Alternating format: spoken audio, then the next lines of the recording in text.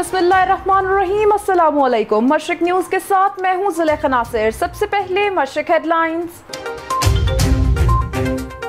Special secretary बरए सेहत हाफिज मोहम्मद ताहिर ने नेवल कोरोना से मुतासरा मरीजों के इलाज और मुआलजे और इनकी तशखीसी टेस्ट के हवाले से Fatima Jinnah test and general हस्पताल के डॉक्टर्स तिब्बी और नीम तिब्बी अमले और दीगर की कारकर्दगी को सराहा।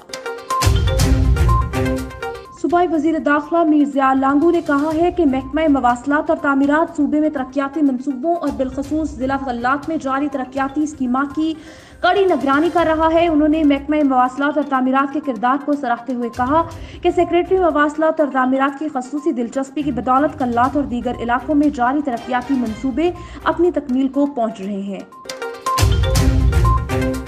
असिस्टेंट कमिश्नर सिब्बी अनायतुल्ला खान कासी ने कहा है कि मुलाजमत में ट्रांसफ़र और पोस्टिंग सर्विस का अहम हिस्सा है। सिब्बी के लोग पुरअमन शहरी हैं और प्यार बांटने वाले लोग हैं। सिब्बी के अवाम ने मुझे जो मोहब्बत दी है, इसे मैं हमेशा याद रखूँगा। महकमा दाखिला और कबायली अमूर हुकूमत बलोचिस्तान के एक अहम हुक्मनामे के मुताबिक कोरोना वायरस के फैलाव के पेश नज़र सूबे भर में स्मार्ट लॉकडाउन में मजीद पंद्रह रोज की तोसी कर दी गई है। सोहबतपुर नवाही गाँव दिलदार खान खोसा का रिहायशी मोहम्मद फाजिल कटोहर अपनी बीवी बच्चों समेत इंसाफ की फराहमी के लिए प्रेस क्लब पहुँच गया। गवादर रेवेन्यू रिकॉर्ड में टैंपरिंग के ज़रिए 32 करोड़ का घपला मुलजमान ने जालसाजी से सरकारी ज़मीन कौड़ियों के भाव बेच डाली। नैब बलूचिस्तान ने महकमा माल बलूचिस्तान के अफसरान के खिलाफ रेफरेंस दायर कर दिया। महकमा माहौलियात की कार्रवाई होल सेल में प्लास्टिक बैग फरोख्त करने वाली दुकानों को सील कर दिया गया। हुकूमत बलूचिस्तान ने कोरोना वायरस के खतरात के पेश नज़र हंगामी बुनियादों पर ताफ्तान में करंतना मरकज कायम किया।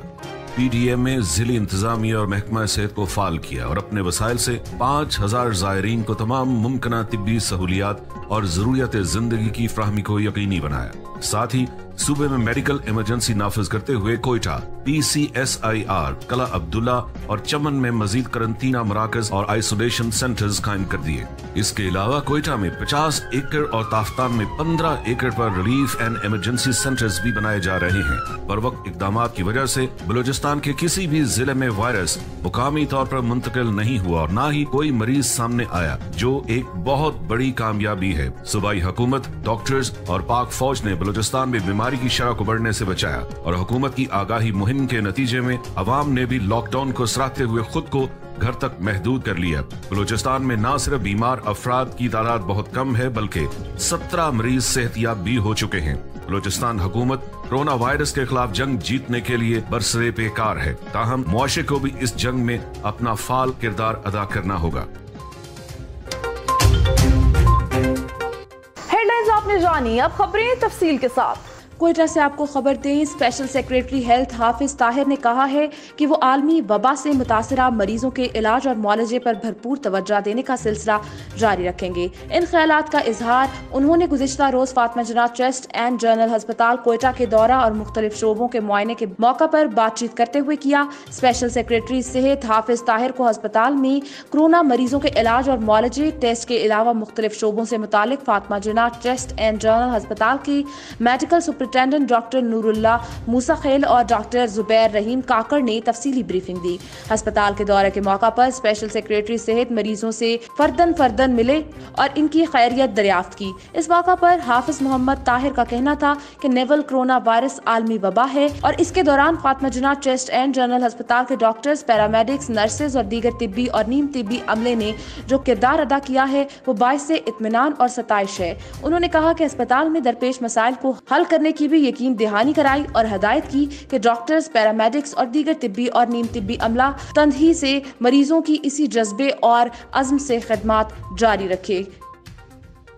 सूबाई वज़ीर दाखिला मीर लांगू ने कहा है कि महकमा मवासलात और तमीरत सूबे में तरक्याती मनसूबों और बिलखसूस जिला गल्लात में जारी तरक्याती स्कीमा की कड़ी निगरानी कर रहा है। उन्होंने महकमा मवासलात और तमीरत के किरदार को सराहते हुए कहा कि सेक्रेटरी मवासलात और तमीरत की खसूसी दिलचस्पी की बदौलत कल्लात और दीगर इलाकों में जारी तरक्याती मनसूबे अपनी तकमील को पहुँच रहे हैं। सूबाई वज़ीर दाखिला मीर जिया लांगू ने कहा कि इन मनसूबों का फ़ायदा बरह रास्त आवाम तक पहुँच रहा है। उन्होंने ये भी कहा कि कल्लात में तरक्याती मनसूबों में शफाफियत लिए कड़ी मॉनिटरिंग की जाएगी। डेवलपमेंट पैकेज की निगरानी के लिए मौसर मेकनिज़म तश्कील दे दिया गया है। वज़ीर दाखिला ने मनसूबों की कड़ी मॉनिटरिंग के मेकनिज़म पर जल्द अज जल्द अमल दरामद करने का हुक्म दिया है और उन्होंने कहा है कि तरक्याती मनसूबों समेत डेवलपमेंट पैकेज पर होने वाली पेशरफ से रोज़ाना की बुनियाद पर आगाह किया जाएगा। सूबे भर में फलाह आमा के प्रोजेक्ट के आला मैार को यकीनी बनाया जाएगा और तरक्याती मनसूबों में तामीराती काम की क्वालिटी पर कोई समझौता नहीं होगा। उन्होंने कहा कि आला मैार से ही आवाम के पैसे का दुरुस्त इस्तेमाल यकीनी बनाया जा सकता है। सूबे के आवाम के वसाइल का अमीन हूँ, किसी को वसाइल ज़ाया नहीं करने दूँगा। उन्होंने कहा कि मनसूबों पर फंड्स के दुरुस्त और शफाफ इस्तेमाल को यकीनी बनाने के मेकनिज़म की निगरानी खुद करूँगा और तरक्याती मनसूबों में ताखिर या कोताही बर्दाश्त नहीं की जाएगी। वज़ीर दाखिल ने हदायत की कि तरक्याती अमूर से मुतालिक आवाम की शिकायत का फौरी अजाला ज़रूरी है। आवाम की सहूलत के किसी भी प्रोजेक्ट में ताखिर तकलीफ़ दे अमर है और मैं अपने आवाम को तकलीफ़ और मसाइल का शिकार देखकर खुश नहीं रह सकता। असिस्टेंट कमिश्नर सिब्बी अनायतुल्ला खान कासी ने कहा है कि मुलाजमत में ट्रांसफ़र और पोस्टिंग सर्विस का अहम हिस्सा है। सिब्बी के लोग पुरअमन शहरी हैं और प्यार बांटने वाले लोग हैं। सिब्बी के अवाम ने मुझे जो मोहब्बत दी है, इसे मैं हमेशा याद रखूँगा। इन ख्याल का इजहार उन्होंने लेवीज रसालदार मीर मोहम्मद आरिफ मरी की जानब से, लेवीज लाइन और रहमतुल्ला सोमरू और स्टाफ की जानब से ए सी ऑफ़िस में इनके एजाज में दिए गए अलविदाई तकरीब से खिताब करते हुए किया। इस मौका पर सिब्बी तहसील के चेयरमैन, जक़ात उशर कमेटी सिब्बी और सिब्बी के सीनियर सहाफ़ी सलीम गशकोरी ने अलविदाई मुलाकात करके इन्हें पश्तो दस्तार पहनाया। इस मौका पर तहसीलदार सिब्बी नसीर अहमद तरीन, रसालदार लवीज मीर आरिफ मरी, अब्दुल मालिक बंगलजई, मोहम्मद अली लूनी रहमतुल्ला सोमरू, वजेरा गजीन गशकोरी बाबू कादिर हाड़ा और दीगर भी मौजूद थे। अलविदाई तकरीब से खिताब करते हुए असिस्टेंट कमिश्नर सिब्बी अनायतुल्ला कासी का कहना था कि मैंने बलूचिस्तान के मुख्तलिफ़ अजला में अपने फ़रज़ सर अंजाम दिए हैं और सिब्बी में अब फ़रज़ सर अंजाम दिए हैं। यहाँ के लोग पुरअम मुहब वतन और कानून का एहतराम करने वाले हैं और सिब्बी के शहरी प्यार और मोहब्बत बांटने वाले हैं। मैं इनके प्यार और मोहब्बत को हमेशा याद रखूँगा। उन्होंने कहा कि commissioner Syed Faisal Agha deputy commissioner Sibi doctor Mohammad Yasir Bazai और सबक डी सी सैयद जाहिद शाह के साथ काम किया है। ये बहुत ही अच्छे और काबिल अफसरान हैं। उन्होंने हर मौका पर मेरी हौसला अफजाई की है। उन्होंने कहा है कि मुलाजमत के दौरान ट्रांसफ़र और पोस्टिंग सर्विस का अहम हिस्सा होता है। मैं जहाँ भी जाऊँगा, इसी अहदे पर रहूँगा और इसी तरह सरकार और अपने मुल्क की खदमत करता रहूँगा। महकमे दाखिला और कबायली अमूर हुकूमत बलोचिस्तान के एक हुक्मनामे के मुताबिक कोरोना वायरस के फैलाव के पेश नज़र सूबे भर में स्मार्ट लॉकडाउन में मजीद पंद्रह रोज की तोसी कर दी गई है। लॉकडाउन तीस जुलाई तक बरकरार रहेगा। हुक्मनामे के मुताबिक सूबे भर में कोरोना वायरस के फैलाव का खदशा अब भी मौजूद है, जिसके बायस एहतियाती तदाबीर को बरकरार रखना ज़रूरी है। इसलिए तमाम शॉपिंग मॉल्स, मार्केट्स, बाज़ार और कारोबारी मराकज हफ़्ते के छह रोज सुबह नौ बजे से शाम सात बजे तक खुले रहेंगे, जबकि जुम्मे जुम्मे को तमाम कारोबारी मराकज बंद रहेंगे। गोट दिलदार खान खोसा का रिहायशी मोहम्मद फाजिल कटोहर अपनी बीवी बच्चों समेत नेशनल प्रेस क्लब पहुँच गया और इंसाफ फराहम करने की अपील कर दी। उनका कहना था कि हमें आए रोज कत्ल करने की धमकियाँ दी जा रही हैं। उनका कहना था कि बंगला कटोहर, अल्लाह बख्श, कटोहर शाह पर कटोहर मुझे और मेरी बेटी को जान से मारने की धमकियाँ दे रहे हैं। जबकि कुछ अरसा कबल अदालत में बंगला कटोहर ने मेरी बेटी को तलाक भी दे दी थी और कबायली तरीके से भी फैसला हुआ था, जिसमें गवाहान के सामने सामने बंगला खान कटोहर ने फैसला कबूल किया, मगर फिर भी वो हमें आए रोज जान से मारने की धमकियाँ दे रहे हैं। हमें इंसाफ फराहम किया जाए, उन्होंने वज़ीर अला Balochistan I G Balochistan D I G Naseerabad S P Sohbatpur से इंसाफ फराहम करने और मुलजमान के खिलाफ कानूनी कार्रवाई करके इंसाफ फराहम करने का मुतालबा किया है।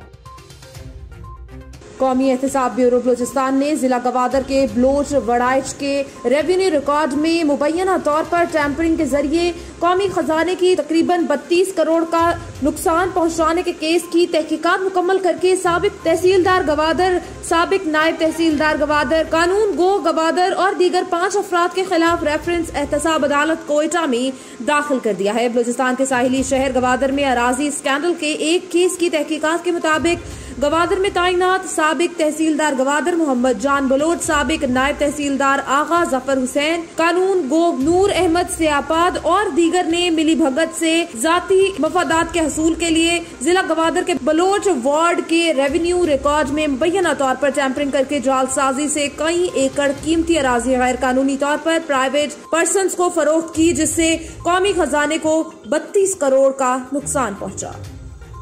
महकमा माहौलियात की कोयटा शहर में कार्रवाई, होलसेल में प्लास्टिक बैग फरोख्त करने वाली दुकानों को सील कर दिया गया। डायरेक्टर जनरल महकमा इदारा तहफ़ माहौलियात मोहम्मद जहांगीर खान काकड़ की हदायत पर महकमा माहौलियात और जिला इंतजामिया का न्यू अड्डा सब्जा मंडी, ब्रैच मार्केट और अलम्बरदार रोड पर होल सेल प्लास्टिक बैग फरोख्त करने वाली दुकानों पर छापा मारा गया, जिसकी निगरानी special magistrate Samiullah task force महकमा माहौलियात के deputy director legal Haji Rizwan Ali inspector Shaukat Kakar Asmatullah Shah और इलाका पुलिस कर रही थी इस मौका पर। डीजी माहौलियात का कहना था, प्लास्टिक बैग के इस्तेमाल पर पूरे बलोचिस्तान में पाबंदी लगाई जा चुकी है। जो भी शख्स प्लास्टिक बैग की खरीदो, फरोख्त या प्लास्टिक बैग की फैक्ट्री में बनाने में मुलविस पाया गया, इस पर एक्ट 2012 के तहत एक्शन लिया जाएगा। इस पर भारी जुर्माना और सजा भी लगाई जा सकती है। न्यूज़ स्टूडियो से फिल वक्त इतना ही। मजीद खबरों और अपडेट्स के लिए विज़िट कीजिए हमारी website Mashriq H D dot T V और देखते रहिए मशरक न्यूज़।